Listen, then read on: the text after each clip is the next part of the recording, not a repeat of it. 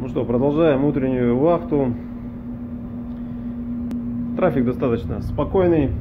Вот на радаре в истинном движении вижу какую-то неподвижную цель.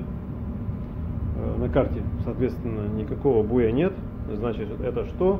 Когда мы еще визуально не видим, мы можем догадаться, что это рыбацкое судно. Берем бинокль, начинаем смотреть и видим, что у нас появилось рыбацкое судно, как я и предполагал. Берем цель на сопровождение. Многие говорят, что я пользуюсь э, только АИСкой. Ну, если цели сопряжены с АИС, что я могу сделать? Не буду же я АИС отключать. Вот это судно без АИС, поэтому я его взял на, на сопровождение. И все, сейчас ждем, просчитает.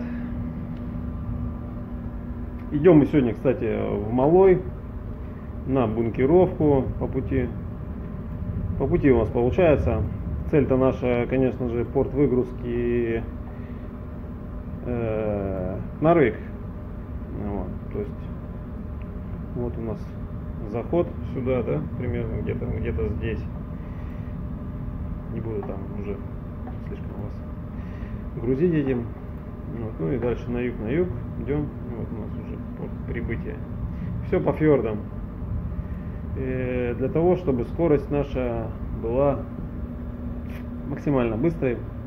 Потому что в прошлый раз нам звонит капитан, э, капитан уже говорю, э, судовладелец, какого хера вы едете э, 9 узлов, когда вы должны ехать 10 с половиной. Ну, то есть до такого даже доходит. Поэтому что мог капитан ответить? Ну, так получилось. Решил идти там. Э, погода была хорошая. Ну, все равно задает вопрос, почему? Почему вы идете снаружи?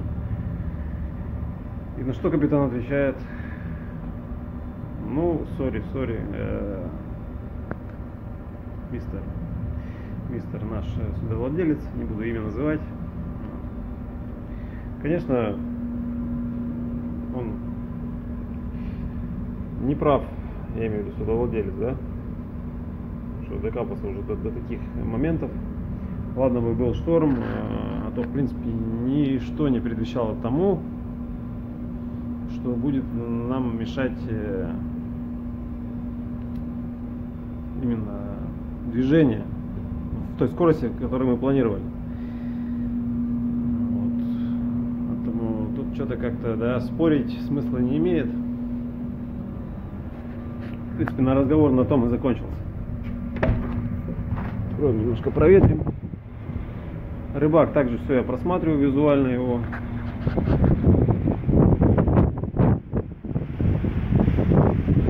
красота здесь.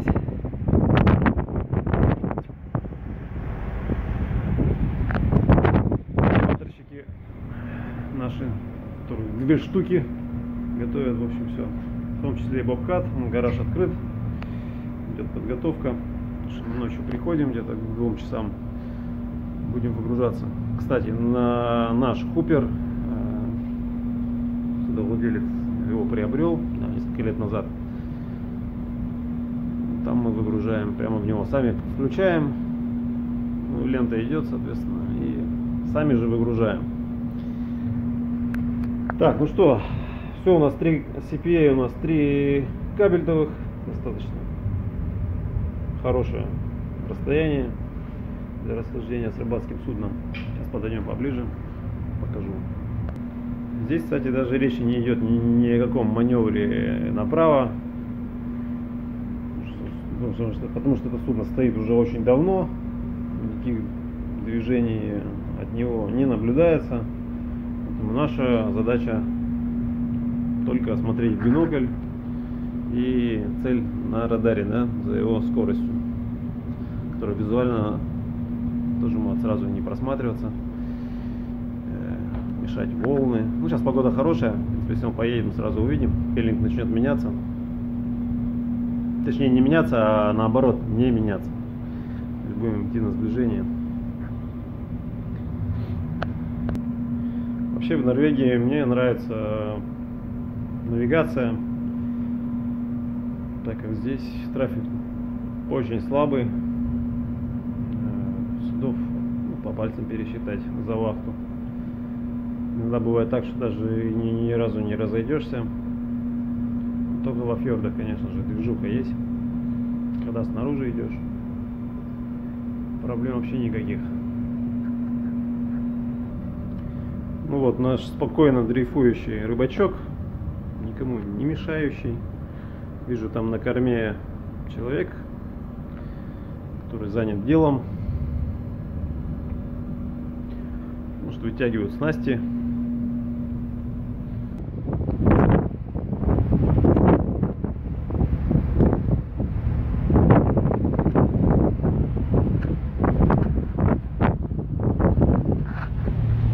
В принципе, ребят, вот на этом мое расхождение и заканчивается.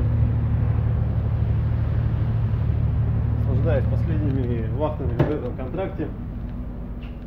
В общем, смена у меня 22 числа. И я должен быть уже дома. Это видео, кстати, выходит, получается, вы его сейчас смотрите, сегодня 23 Вот, Я надеюсь, что я уже дома и могу отвечать на ваши комментарии. Все, друзья, всем спасибо за внимание.